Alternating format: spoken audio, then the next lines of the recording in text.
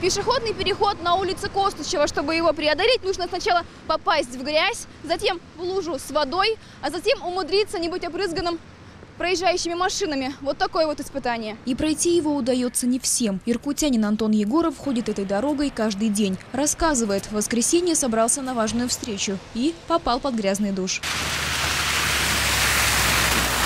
Ну что получается, пошел на встречу вчера, одел новую куртку светлую, думал, вот, покрасуюсь, ну и что, пожалуйста. Пошел по этой улице, пока шел, Хо- хоть бы одна машина притормозила, нет, все летели. На два метра брызги, я, естественно, с ног до головы, пришлось срочно бежать домой, срочно, срочно переодеваться. Это еще ладно.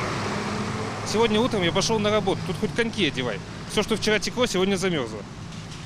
Я даже не знаю, что хуже. Но грязь на выезде из Радужного только полбеды. Талые воды за несколько лет размыли тротуар. Приходится ходить по изломанному асфальту. Кроме того, во многих местах до самой дороги навален грязный снег. И это в опасной близости от оживленной дороги. Первопричина этих неудобств – отсутствие ливневой канализации. Проблема актуальна не только для Радужного, но и для других новых микрорайонов. Особо тяжелая ситуация, по словам специалистов Комитета по градостроительной политике администрации Иркутска, сложилась на улице 30-й дивизии. Очень проблемно у нас. Туда попадают стоки со всей улицы Байкальская, с э, улицы Депутатская.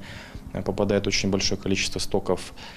Э, Там необходимо осуществить строительство закрытой системы ливневой канализации с очисткой источных вод на выпуске. Еще одна грязная точка на карте – переулок Пугачева. Здесь потопа только ожидают. При уборке дороги кучи грязного снега свалили на детскую площадку. По словам местных жителей, находиться здесь уже невозможно, а когда сугробы начнут таять, станет еще хуже. Место для игр превратится в болото. Ливневки здесь, как и на многих городских улицах, нет. Проблема, по словам специалистов, для города общая. В законе не указано, кто именно должен заниматься созданием ливневой канализации. Поэтому водоотвод в основном обустраивается за счет внебюджетных источников финансирования. Например, при строительстве новых или реконструкции старых объектов. Также ливневая канализация может появиться при капитальном ремонте дорог. Мария Князева, Александр Мокин. Новости сейчас.